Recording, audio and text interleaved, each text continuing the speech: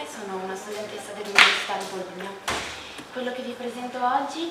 è, l'applicazione del motore di gioco del programma per modellazione tridimensionale Blender applicato alla navigazione real time della ricostruzione archeologica che stiamo, eh, stiamo, alla quale stiamo lavorando eh, da quasi un anno con, la, con il team di, di ricerca di cui faccio parte, che, è, mm, sta lavorando a COS nel quartiere delle Terme Occidentali e che sta studiando in particolare le fasi eh, della, di questo sito, di questo grande sito, le fasi proto-bizantine. E parte di questo lavoro è stato oggetto della mia tesi di specializzazione ed è tuttora in corso perché eh, le indagini sul campo si sono si sono concluse recentemente, qualche settimana fa, per cui adesso inizia la fase di elaborazione eh, di tutti quanti i dati che abbiamo raccolto in questi tre anni di studio di, di quest'area.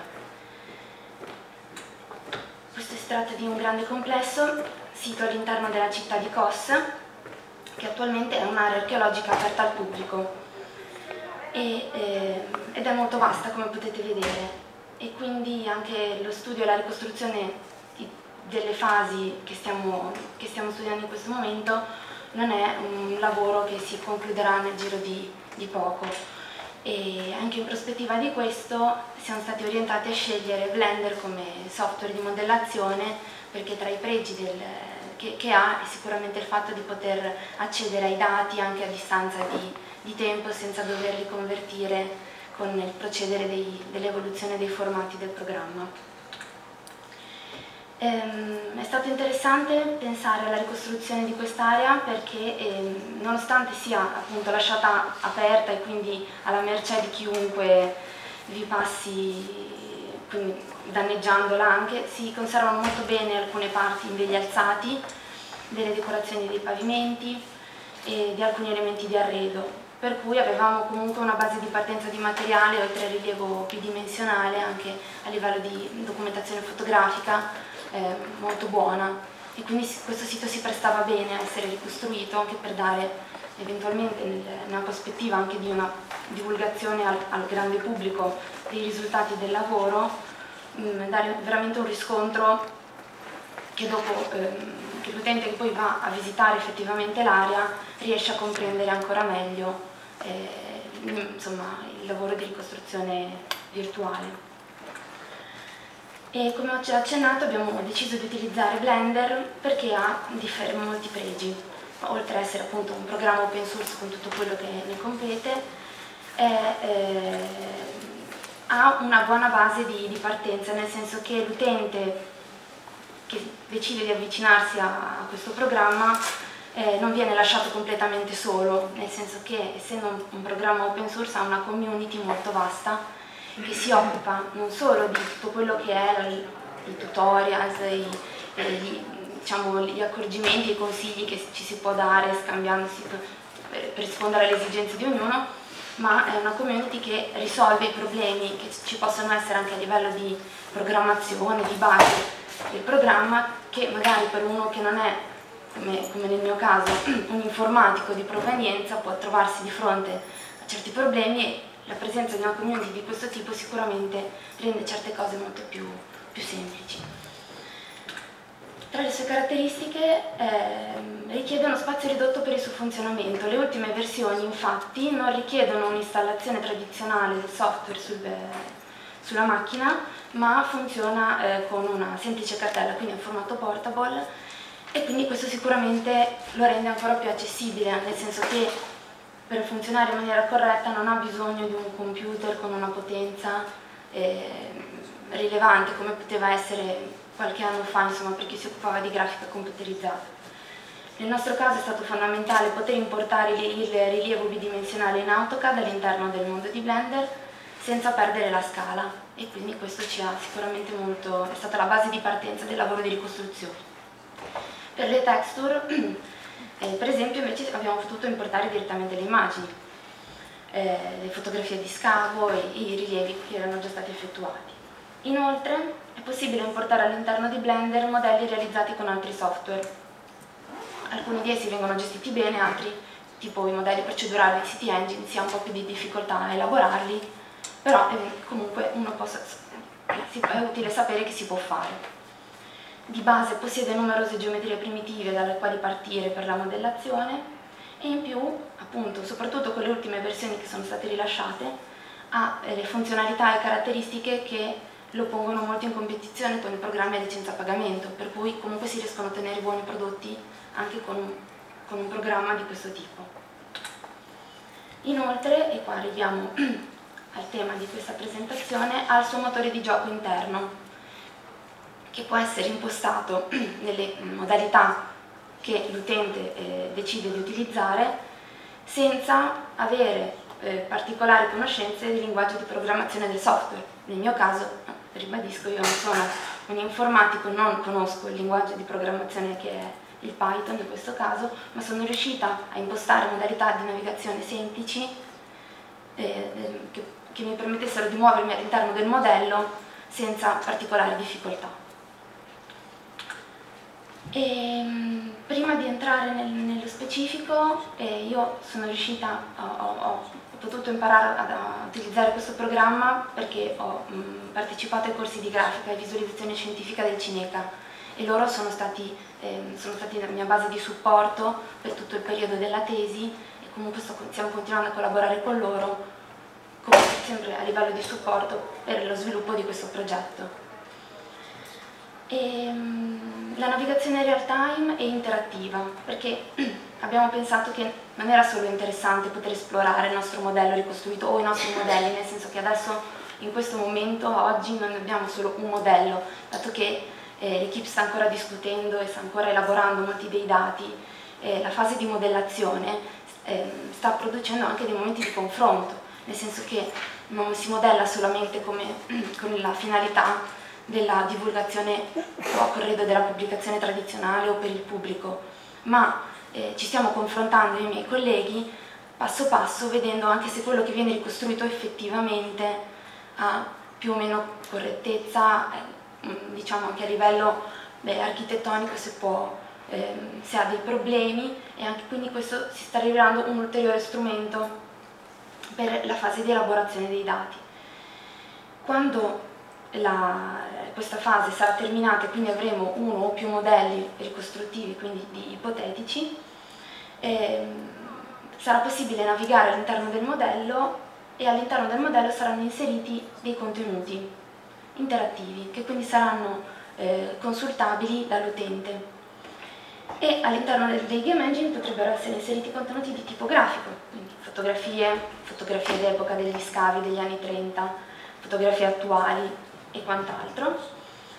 oppure oggetti tridimensionali, quindi altre mesh, altri elementi che possono integrare la ricostruzione presentata, per esempio trattandosi di un sito pluristratificato sono sicuramente interessanti poter far visualizzare anche le fasi precedenti o le eventuali fasi successive a quella che è la fase principale di studio.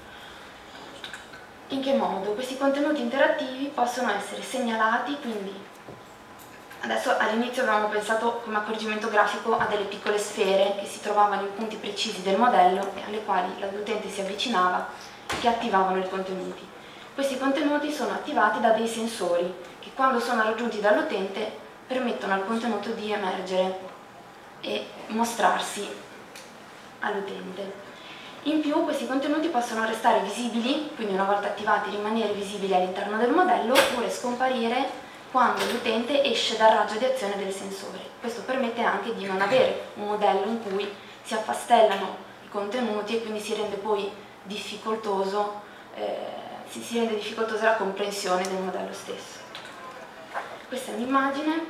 appunto del Game Engine. Qua in primo piano per esempio abbiamo la pavimentazione ricostruita di uno dei vani di accesso di un complesso di battistero e l'immagine attuale della pavimentazione. Eh, abbiamo deciso di inserire quindi anche le immagini del sito attuali perché eh, molte di queste componenti, non solo i pavimenti a mosaico o i pavimenti in opus settile, ma ci sono anche delle decorazioni parietali che sono lasciate alle intemperie, non hanno nessun tipo di protezione e quindi è presumibile che da qua ai prossimi decenni parte di questa documentazione non sarà più visibile. E quindi una delle funzionalità che potrebbe avere anche la collocazione di questi ulteriori contenuti all'interno del game engine è di renderli consultabili anche in una previsione di una mancata conservazione di questi elementi. Abbiamo un altro esempio. E adesso vi parlo un attimo più nello specifico sulle impostazioni basilari del game engine. Allora, occorre che il modello ovviamente sia ultimato in ogni sua parte, quindi la modellazione e il texturing siano completati. Inoltre, per quanto riguarda il texturing, bisogna utilizzare assolutamente immagini di tipo JPEG o simili, tipo i formati di The GIMP, che è stato il programma di elaborazione grafica bidimensionale che abbiamo utilizzato sempre per poter utilizzare sempre programmi open source e non utilizzare invece le texture predefinite di Blender, perché nella modalità di Game Engine non, non, non sono visibili, non rendono. La prima parte di impostazione quindi ehm, prevede che per non appesantire il modello ulteriormente non venga utilizzata un'illuminazione interna al Game Engine,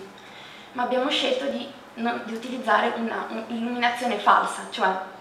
eh, dotare ogni mesh di un'ulteriore texture di cui abbiamo, poi, abbiamo già sentito parlare, che è il processo di texture baking, che crea un'ulteriore eh, texture che dà la tridimensionalità, l'effetto di illuminazione diffusa e di ombra. Questo rende il modello più leggero e quindi la navigazione senza scatti è più, più agevole anche a livello di, di macchina.